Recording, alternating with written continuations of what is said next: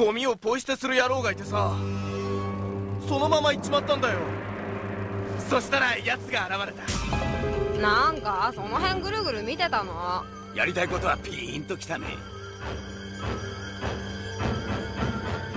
蹴ると思ったよ。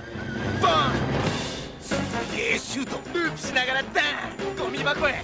さあアディダスを運みんなで清潔な街にしよう。人生で一番夢のあるゴミだった。